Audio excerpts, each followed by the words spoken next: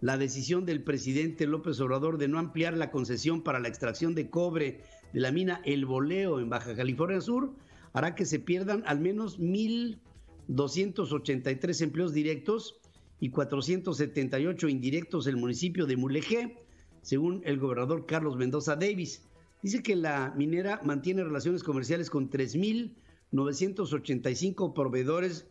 de bienes y servicios y el año pasado contabilizó que la minera pagó casi 300 millones de pesos solamente por el impuesto al valor agregado. Miren, yo creo que pierde mucho más que esto, ¿no? No, no es nada más que se pierdan los, los, los este, 1.283 empleos, no, no, se pierde el prestigio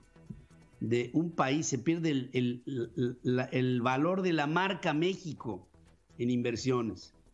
y una mala historia contada de una minera extranjera en nuestro territorio que haya sido así de maltratada, obligada a que sea el sindicato de Napoleón Gómez Urrutia el sindicato que rija las relaciones obrero-patronales, el, que haya este tipo de sesgos de la autoridad que incida en que Napoleón Gómez Urrutia sea su líder en, en este sector, y que entonces como no cede la minera, entonces pues le quitas la concesión para que siga explotando esta mina, pues en dónde queda el nombre de México. Queda por los suelos. Eh, y esto es un mal muchísimo mayor que lo que les acabo de decir.